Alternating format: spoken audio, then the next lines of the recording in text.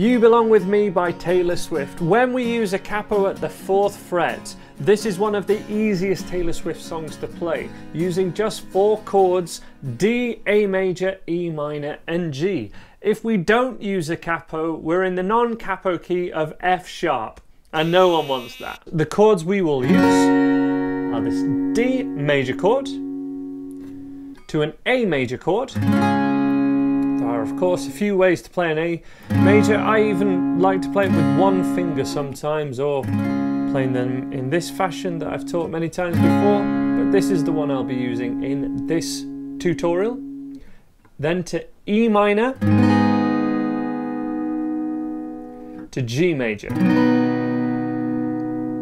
Whether you use three fingers or four fingers to play the G, just like the A major, total personal preference. As long as it's the correct chord, you can play it how you want to play it. Totally fine. The strumming pattern that we're going to go for throughout this entire song is just simply down, down, down, up, down, up. That's what we're going to be going for.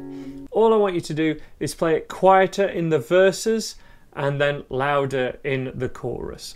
And when we play it quieter, we really do that by keeping that strumming more narrow. We did this in my previous Taylor Swift tutorial uh, for Love Story, but just keep that strumming narrow in the verse. A bit more like that, and then in a chorus.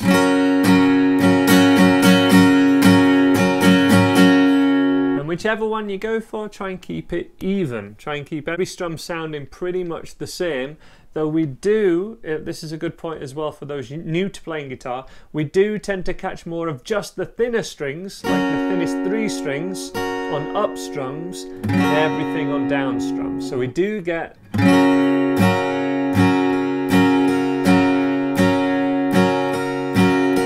do get that happening, like all six strings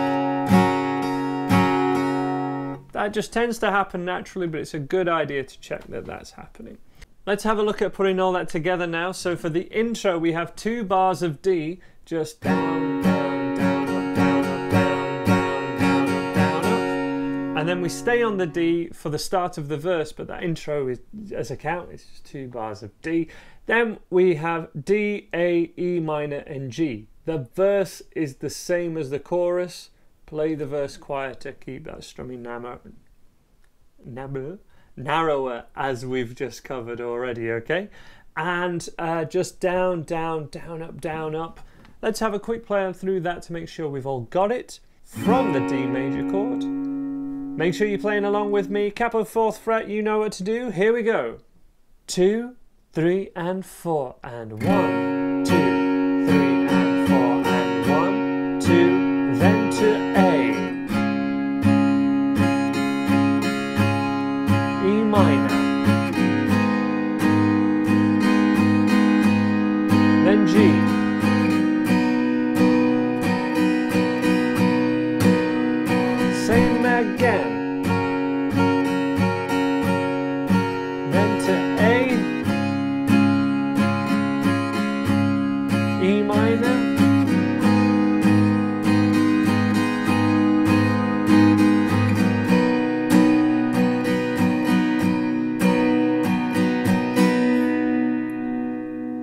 Again, it's exactly the same as that for the chorus, but we're just going to be just strumming a little bit quieter for those verses. Pre-chorus now, and we start this time with that E minor chord, but each chord only lasts for one bar this time. Really common trick in these, uh, this era of Taylor Swift songs.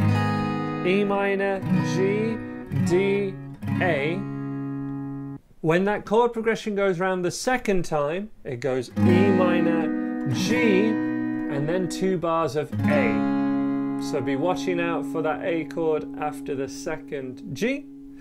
Let's have a play along from this now. And this is for the but she wears short skirts, I wear t-shirts uh, section. That's where we're on.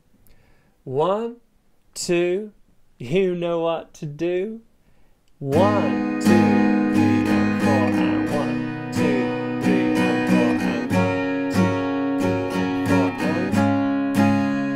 same again, but this time after the G to an A.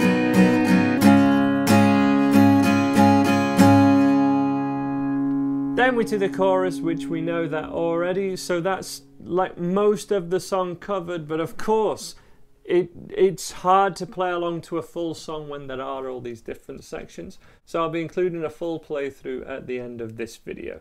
That full playthrough is also going to really help with where the stops are. Now, there's a couple of stops and starts towards the end of the song. If you're a Taylor Swift fan, you know this song inside out. You know where those stops are coming. So it's only going to take one or two attempts and you're going to get it. But just to give you a heads up, this is for the second to last section, which is the bridge um, in England, we think of this more as a middle eight. It's after that second chorus.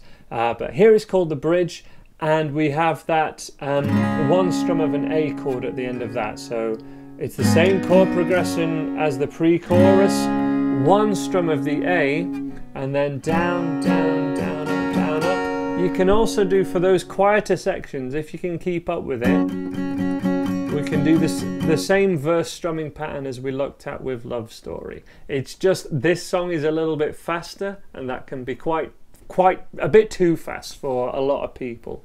But if you can do it, eight strumming all down, same strumming pattern as Love Story. So let's go for a full playthrough of this song now.